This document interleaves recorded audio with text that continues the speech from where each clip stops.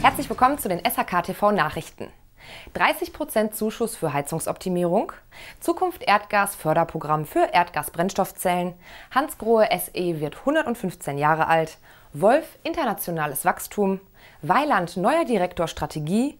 Und Roth Spatenstich für Werkserweiterung. Das Bundeswirtschaftsministerium bezuschusst mit einem neuen Förderprogramm den Einbau effizienter Pumpen und die Optimierung der Heizungsanlage. 30 Prozent der Ausgaben werden dem Hausbesitzer erstattet. Das neue Förderprogramm liefert nun wichtige Anreize zur Erhöhung der Sanierungsquote. Mit bis zu 30 Prozent bezuschusst der Staat den Austausch von mindestens zwei Jahre alten Heizungspumpen durch Hocheffizienzpumpen. Auch bei der Optimierung der Heizungsanlage durch den hydraulischen Abgleich und beim Austausch veralteter Regelungstechnik, also zum Beispiel der Thermostatventile, winkt dem Hausbesitzer eine Kostenerstattung von 30 Prozent.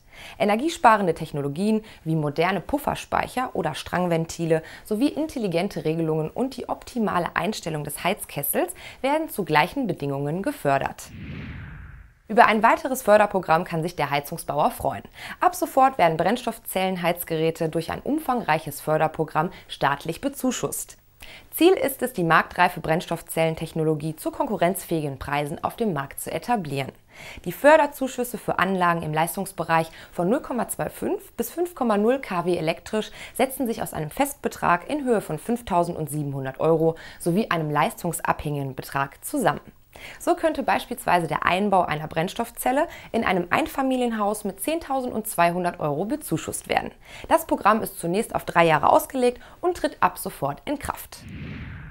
Als Hans Grohe im Juni 1901 im Schwarzwaldstädtchen Schiltach eine Metalldrückerei gründete, wird er kaum geahnt haben, dass aus dem damaligen Drei-Mann-Betrieb heute mit mehr als 3800 Beschäftigten in 34 Gesellschaften und 21 Verkaufsbüros eines der erfolgreichsten Unternehmen der internationalen Sanitärindustrie wurde.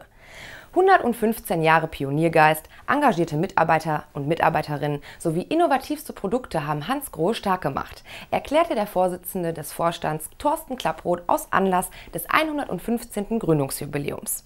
Das Unternehmen, dessen Umsatz 2015 um 10 Prozent auf 964 Millionen Euro geklettert war, peilt daher neue Höchstwerte bei Umsatz und Ertrag an. Wir haben die Umsatzmilliarde fest im Blick, betont Thorsten Klapproth. Der Heizungs- und Klimagerätehersteller Wolf setzt auf internationales Wachstum und will seine Kunden noch stärker in den Fokus der strategischen Aktivitäten rücken. Dies spiegelt sich zukünftig auch in der Zusammensetzung der Geschäftsführung wider. Dr. Thomas Kneip, Vorstand des Mutterkonzerns Centrotech, hat dabei auch den Vorsitz der Geschäftsführung übernommen und wird dort neben dem Bereich Finanzen und Administration insbesondere die Umsetzung der Internationalisierung vorantreiben. Rudolf Meindl, der bisherige kaufmännische Geschäftsführer, steht dem Unternehmen weiterhin beratend zur Seite. Die Weiland Group besetzt die Position des Direktors Strategie neu.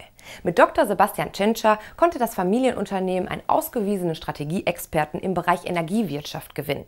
Von 2004 bis 2012 war er in der leitenden Position unter anderem für die Bereiche Regulierung, Führungskräftekommunikation und Unternehmensentwicklung in verschiedenen Unternehmensbereichen des Energieversorgers E.ON zuständig. Zuletzt hat er als Leiter Unternehmensentwicklung die Ausarbeitung der Strategie, das Produktmanagement und strategische Kooperation des deutschen Ökostrommarktführers Lichtblick verantwortet.